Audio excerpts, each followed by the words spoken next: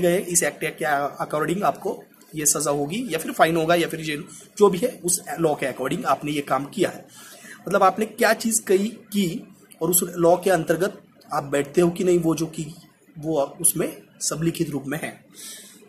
तो आईटी में पहला एक्ट आया ये 2000 में, और अमेंडमेंट अमेंडमेंट मतलब किसी भी लॉ में सुधार, या फिर किसी नई चीज़ का एडिशन एडिशन करना ऐड करना कोई चीज़ नई या फिर कोई नया लॉ लाना और उसमें कुछ कंसेप्ट डेफिनेशन नए से लिखे जाना that is called as amendment तो जो आई टी एक्ट टू में पहली बार बना, उसमें पहला अमेंडमेंट हुआ ये 2008 में।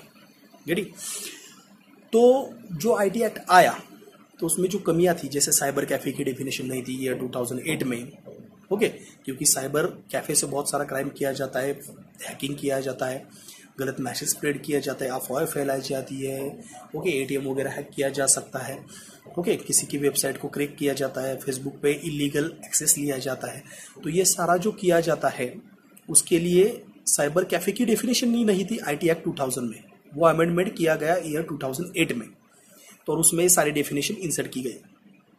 तो ये अमेंडमेंट तो पहले we have to learn how law में लॉ कैसे बनता है।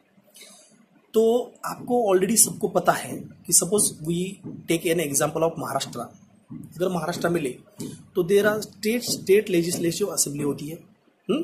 कि जहाँ पे स्टेट लेवल लॉ होता है, दूसरा होता है स्टेट सेंटर लेवल लॉ जो पूरे देश के लिए होता है अगर स्टेट के लिए लो, कोई लॉ आपको बनाना है तो वहाँ पे विधानसभा है, विधान परिषद है, दोनों के जो एम होते हैं, हम उनको आमदार बोलते हैं, उनमें से किसी भी एक रिप्रेजेंटेटिव किसी भी असेंबली का दोनों में से, वो अगर कोई बिल लाता है लॉ का लॉ को बिल भी कह सकते हैं आप, वो कोई बिल लाता है और पर्टिकुलर असेंबली वो वो पारित होता है पास होता है विथ मेजोरिटी बहुमत से अगर वो पास होता है तो दूसरी असेंबली में जाएगा, अगर विधानसभा में पास होता है तो विधान परिषद में जाएगा, विधान परिषद में पास होता है तो विधानसभा जाएगा, और वहाँ पे वो लॉ पास होने के बाद दोनों असेंबली में वो राज्यपाल के पास जाता है, राज्यपाल उस पर साइन करेगा और अकॉर्डिंग टू दैट वो लॉ बनेगा उस स्टेट का कानून।